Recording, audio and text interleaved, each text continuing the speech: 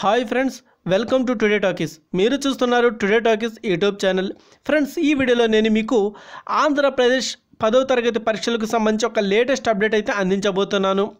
ఆంధ్రప్రదేశ్ పదవ తరగతి పరీక్షలకు సంబంధించి ఇప్పటికే వాయిదాలు అయితే పడడం జరిగింది. అయితే నార్మల్గా చూసుకుంటే కనుక మనకి ఆంధ్రప్రదేశ్కి ప్రభుత్వ ఆంధ్రప్రదేశ్కి చెంది పదవ తరగతి పరీక్షలు అయితే ఈ నెల ముప్పై ఒకటిన అయితే జరగవలసి ఉంది. అయితే ఆ పరీక్షలు ఈ మహమ్మారి కారణంగా అయితే వాయిదా పడడం జరిగింది. అయితే ప్రస్తుతం మహా మహమ్మారి అందరికీ తెలిసిందే ఈ మహమ్మారి అయితే ప్రపంచాన్ని వరికిస్తుంది కాబట్టి ఈ మహమ్మారి మూలంగా అయితే ఇప్పుడు మనకి పదో తరగతి తరగతి పరీక్షలు అయితే వాయిదా పడడం జరిగింది. అయితే పదో తరగతి పరీక్షలపై ఇప్పుడు లేటెస్ట్గా కొన్ని పుకార్లు అయితే వస్తున్నాయి. ఇందుకే పదో తరగతి పరీక్షలు జరగవు. అందరూ కూడా పాస్ అయిపోతారు అనే పుకార్లు వస్తున్నాయి. ఇందుకే పదో తరగతి పరీక్షలు జరుగుతాయా లేదా? అలాగే పదో తరగతి పరీక్షలు అందరూ పాస్ అన్న దానిపై అయితే పూర్తిగా అయితే మనకి ఈరోజు అయితే క్లారిటీ వచ్చింది. అయితే ఎడ్యుకేషన్ మినిస్టర్ ఆదిమూలపు సురేష్ గారు అయితే దీనిపై అయితే స్పందించారు. అయితే గతంలో మనకి చూసుకుంటే అప్ టు నైన్త్ వరకు అయితే అన్ని అన్ని క్లాసులకు సంబంధించి పరీక్షలు అయితే అందరూ కూడా పాస్ అని చెప్పారు. పరీక్షలు లేకుండానే అందరూ పాస్ అని చెప్పారు.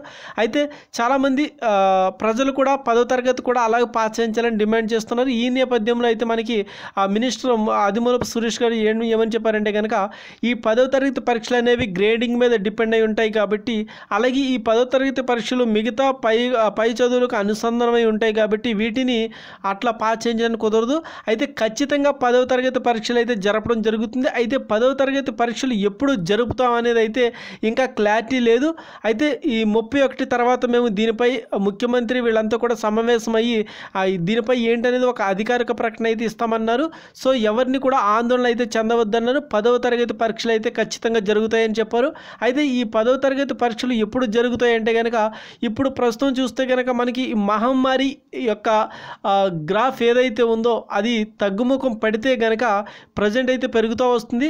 ఒకవేళ ఈ మహమ్మారి గ్రాఫ్ అనేది తగ్గుముఖం పడితే కనుక పదో తరగతి పరీక్షలు అయితే జరగడానికైతే టైం టేబుల్ అనేది అయితే ముందుగా డేట్స్ అయితే అనౌన్స్ చేయడం జరుగుతుంది. అయితే అభ్యర్థులు ఎవరు కూడా ఆందోళన పడవద్దని చెప్తున్నారు. ఎందుకంటే కనుక ఒకవేళ పరీక్షలు ఆ పరీక్షలు అనౌన్స్ చేసే ఆలోచన ఉంటే కనుక ఒక రెండు మూడు వారాలు మీకు టైం ఇచ్చిన తర్వాతే ఈ యొక్క టైం టేబుల్ అనేది అయితే అనౌన్స్మెంట్ చేస్తారు కాబట్టి అభ్యర్థులు ఎవరు ఆందోళన చెందవద్దు అంటున్నారు అలాగే ఎంసెట్ ఇవి వీటికి సంబంధించి ఇంటర్ ఇంటర్ రిలేటెడ్ ఎగ్జామ్స్ ఏవైతేనో వాటికి సంబంధించి కూడా అప్డేట్ అయితే ఉంది. అది కూడా నేను మీకు నెక్స్ట్ వీడియోలో అయితే చెప్తాను.